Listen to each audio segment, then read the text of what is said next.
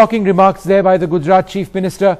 Were they uh, poorly phrased remarks uh, or were they remarks which a lot of people have a genuine reason to feel were despicable, should have been avoided and remarks for which he perhaps needs to apologize. Joining us to discuss this, Shoma Chaudhury, Managing Editor of Tehelka with me.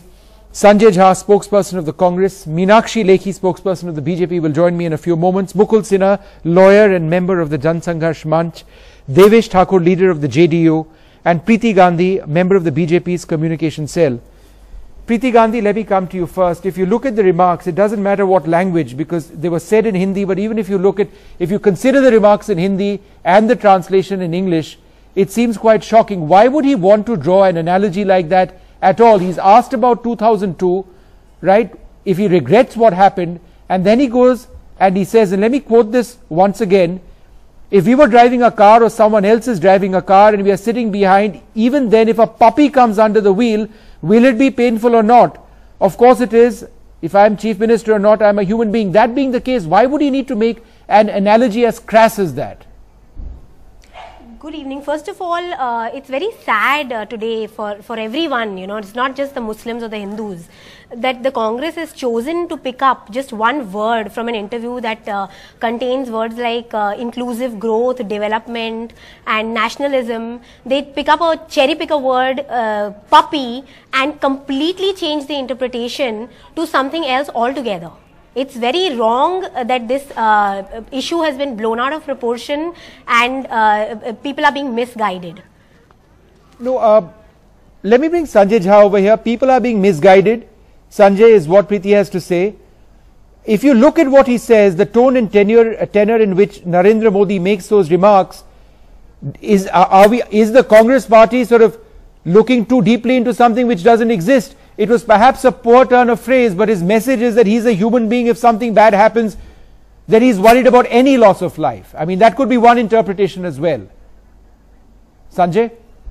Uh, Vishnu, Vishnu, with due respects to the BJP spokesperson, whoever that is, I mean, the Congress did not put a gun on Mr. Modi's head and make him utter these preposterous, absurd, and outrageous statements. Let me just repeat it for the benefit of uh, the, the, spokesperson of the BJP there, that this statement by Mr. Modi, the one where he calls uh, the callous uh, crushing of a dog, uh, uh, uh, this is how he actually draws an analogy, and this is something we have been talking about since afternoon, is regrettable. I think it's repugnant.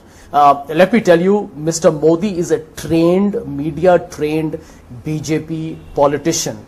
The BJP has always been very organized in its communication. If anybody is at the moment going to give him the benefit of doubt of having said that in some other context, believe me, I think we are going to make a criminal error, cardinal sin.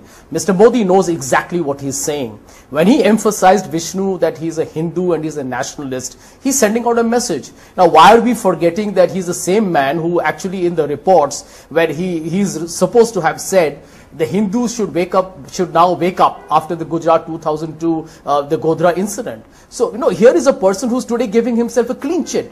He, he said somewhere no, in that interview, and I read that, I'll come to that, that the SIT has... One minute, uh, Sanjay, I'll come to that part. Yeah, no, one minute, all the points. Sanjay, okay. we'll discuss all of these points. I okay, so let me tell you, let yes, me tell you that he has comment. scant respect, he has scant respect for, I think, uh, what happened in Gujarat you cannot make the statement. He knows that everything he says to the media is All right. going to be Preeti, I think the central message made, that Sanjay is trying to say is that he knows exactly he what knows he is what saying. saying. The, the yeah. brand Modi, the PR strategy of Narendra Modi and the message that he's trying to say out, to send out is decided, it is cultivated and then it is said. So therefore, it was no, deliberate. This is being cultivated by the Congress to feed their agenda of divisive politics. I want to be very clear on that. And it is not just once; it is continuously that they're doing this and slandering a particular community for their own vested interest.